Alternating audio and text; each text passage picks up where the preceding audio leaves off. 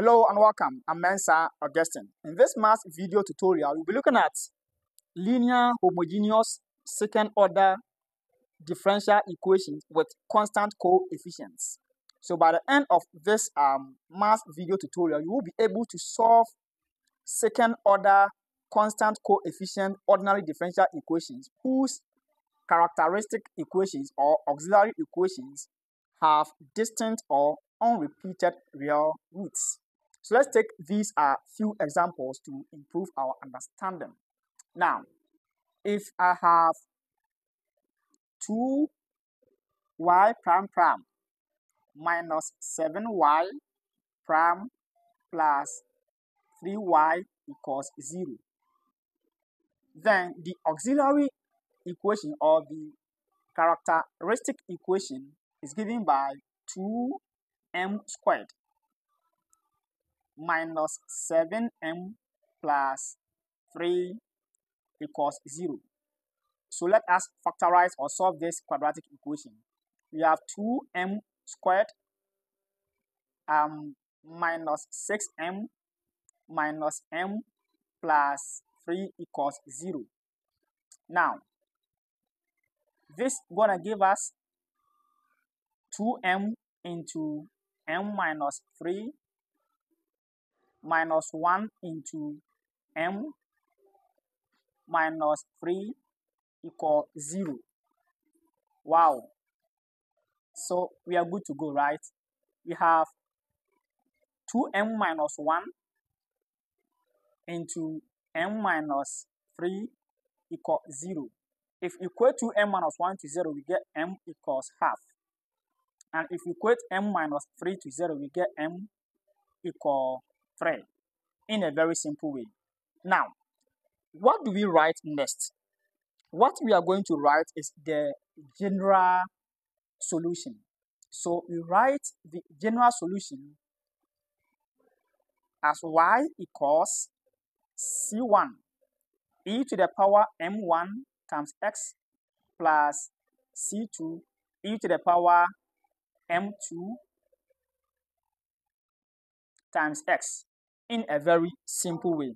So this is simply the general solution for linear second order differential equation with constant coefficients whose characteristic equation have distinct or unrepeated real roots.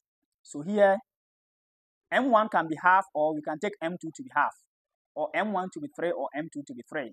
So if we take m1 to be half and m2 to be 3, then you have the general equation as y equals c1 e power half of x plus c2 e power 3x as the general solution. So here we don't have any initial conditions or um, boundary value problem. So this is the general solution.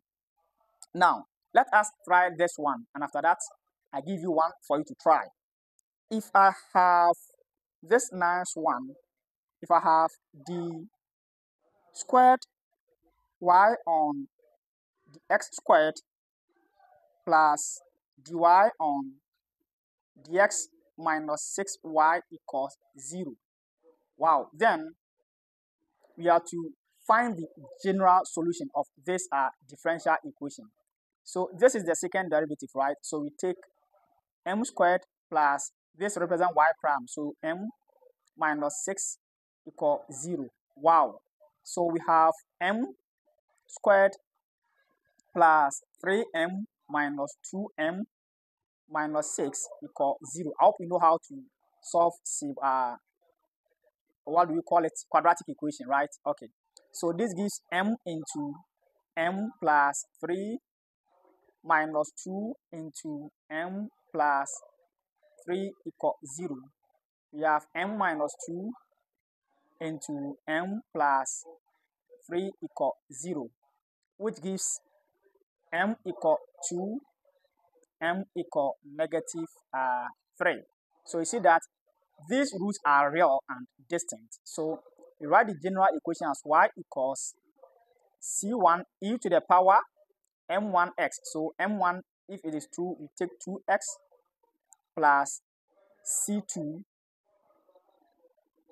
e to the power m2. If it is negative 3, then write minus 3 times x in a very simple way. Now, try this one and leave your answer at the comment section.